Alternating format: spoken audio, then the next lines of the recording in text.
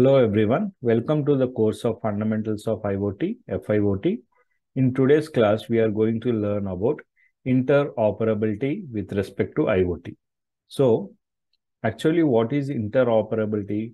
As the definition indicates, interoperability is a characteristics of a product or a system whose interfaces are completely understood to work with other products or system present or future in their implementation or access without any restrictions. So let us assume there are two machines.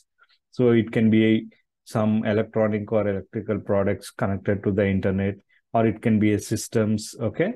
So it can be uh, currently in real time or for the future purpose in order to have an access between these two systems or in order to have an exchange of data or in order to work uh, for a particular application uh, with respect to these two systems we need to have a proper communication between these systems or machines okay? So interoperability is nothing but an operational ability between these two products machines or systems okay such that they will be communicating meaningfully and they can also exchange the data or the services okay? So First, we need to know why interoperability is important in the context of IoT. Okay, so there are so many IoT objectives. So in order to fulfill these IoT objectives, interoperability is very much considered. Okay, so uh, let's see the what are the objectives. Physical objectives or uh, physical objects can interact with any other physical objects and they can share their information. So these objects can be uh, systems, machines, okay, or uh, some sort of products connected to the internet. Okay, these physical objects which are integrated with the sensors, okay, or a sensor mechanism. Okay, so the major aim is to, or the objective is to share their information with one another. Okay. So any device can communicate with other devices anytime from anywhere. Obviously, if it is connected to an internet, these devices can communicate with the another devices anytime from anywhere. Okay. Now, machine to machine communication, device to device communication, device to machine communication falls under these IoT's objectives. Okay. So we also need to have a seamless device integration with IoT network. So using a simple internet connection. So we need to have an complex device integrations as well. So in order to satisfy a particular application. So in order to fulfill all these objectives, interoperability is one of the important context considered in the IoT. See, why interoperability is required? Generally because of the heterogeneity. Okay. So heterogeneity is nothing but there are several types of IoT uh, machines or devices. Okay, each will be working on their own uh, uh, according to the different different applications. Okay, and each device will be having its own uh, language, how to communicate, or the protocols, and it differs uh, product to the product or the device to the device. Okay. So whenever all these machines or devices are brought together, and we expect that to work for a particular application, there will be a lot of problems occurring. So interoperability is very much required in order to have a proper communication with all these type of different types of devices to perform a particular task in order to satisfy the application needs. Okay, so heterogeneity is also considered. So here uh, we get several types of wireless communications where uh, uh, protocols are considered like Zigbee, Bluetooth, GPRS, 6LoWPAN, and Wi-Fi, and all these uh, uh, protocols are considered. If at all you take the wired communication, Ethernet, higher LAN layer, uh, LAN protocols, all these are considered. If at all we consider the programming languages with respect to the um, uh, softwares we use for the IoT or the devices or the hardware uh, system we use okay? It can be considered as the embedded c okay? Javascript c c++ visual basic php python all each and every different types of iot systems will be having their own programming languages in order to satisfy the uh, requirement or the design okay? And we can also uh, iots come across different hardware platforms such as crossbow and several uh, many things are there, uh, Node MCU, and so many are there, etc., etc. So interoperability is very much required in order to have or satisfy this heterogeneity. Now, let's see what are the different types of interoperability. So we have mainly two types of interoperability. One is user interoperability. Second one is device interoperability. Okay. So coming to the user interoperability. So interoperability problem between a user and a device. So we are going to satisfy the or rectify the problem uh, between the user as well as device. Whenever a person tries to use a uh, use a particular device, an IoT device, or to communicate with an IoT device. So this particular user interoperability is very much considered. Okay. Coming to the device interoperability here, the problem arises between two different devices. Whenever there are two different devices want to communicate with each other in order to satisfy an IoT application, the, there will be several problem arises. So uh, in order to satisfy those problems, so we will be using this particular device interoperability. Okay. Now let's see what is the user interoperability as well as device interoperability one by one. See, coming to the user interoperability. So the following problems need to be solved. One is device identification and categorizing for the discovery. Once you start using the hardware with respect to the IoT, so these particular devices need to be identified and also categorized, okay, in order to have a safe uh, communication or exchange of data, okay. The second one is syntactic interoperability for the device interaction. And the third one is semantic interoperability for the device interaction. What is syntactic and what is semantic, we are going to see now, okay. See. So before uh, getting into um, these particular uh, three variations with respect to user or the device interoperability. Let's see uh, a basic example. Okay. So a person or a user from America want to access the CCTV cameras.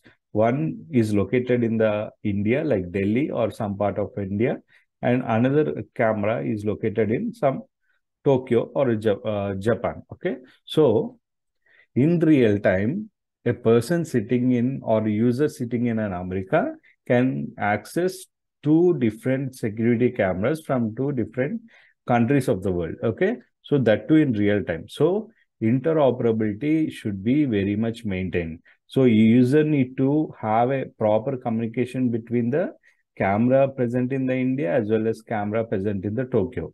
And not only that, the two cameras need to have an uh, communication if needed, if the application is required, okay, or the, if the application demands, okay. So there should be a proper communication between the cameras as well as there should be a proper communication between the user as well as the camera. Here the cameras are considered as the devices and the person who is monitoring or altering that particular or controlling the cameras okay, can be considered as the user, okay. So now let's see how this interoperability with respect to device as well as user works. See, first thing is coming to the user interoperability. So we have device identification and categorization for discovery, okay. So in order to identify a proper device like a camera which is present in a particular country or a location, we need to have some unique addresses. So these addresses can be provided with respect to electronic product code EPC, universal product code UPC, uniform resource identifier URI, and the most popular one is the IP addresses we have. With respect to IoT, mostly we will be using IPv6. Okay.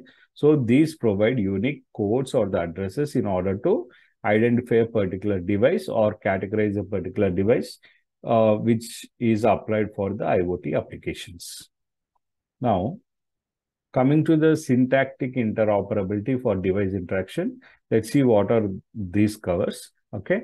So in the syntactic interoperability, the interoperability between devices and device user in terms of message formats. So whoever the user who is using a particular device using an IoT so in terms of message formats, there should be some sort of communication. Okay. So the message format from a device to a user should be understandable, okay, for the user computer. The user, whoever using that particular interface or the software, okay, so the device message for, uh, format, let me take an example of same user as well as camera. Okay, whatever the data sent from the camera should be understandable by the software or the um, uh, user interface used by the user. Okay, now, on the other hand, uh, this message, whatever the person uh, who is controlling that particular camera, whatever the message he sent, that also format also should be executable by the device. Okay, suppose let me turn the camera to a particular position. Okay, so based on the controls given by the user, so the camera will need to be turned. It does that particular operation only when it understands the message format, right?